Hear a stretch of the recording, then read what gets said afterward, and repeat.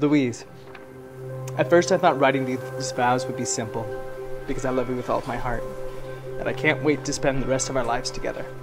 But when I sat down, the words wouldn't come, because there aren't any. But over time, I think I've worked out the best way to explain the magnitude of how much I need you in my life. And that's in a number 21,554. From Cairns to Melbourne, Boston to Kingston, and all the trips to Scotland, I've flown 21,554 miles. Because, Louise, I need to have you in my life, and I refuse to let something like the Atlantic Ocean be the reason I can't see you.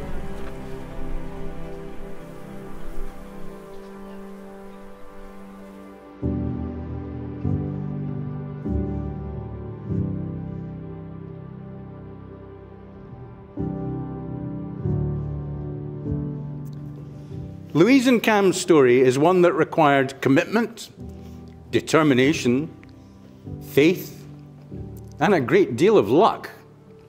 They met each other while they were both in a foreign land.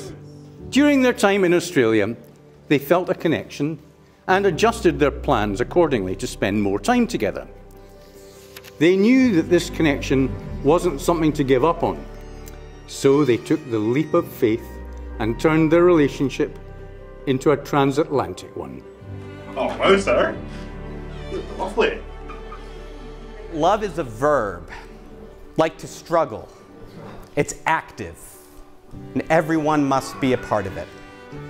From the big moments, like trying to negotiate which country had the right COVID policy that allowed them to see each other, to the days where Cam would drive the UPS truck with Louise by his side on the phone, just so they could be together.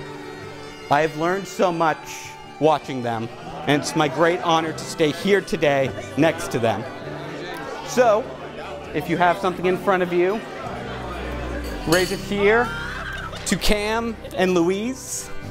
May the love you feel for each other and the love from all of us last forever, and for all of us to live our lives like Cam and Louise with a full and active love. Cheers.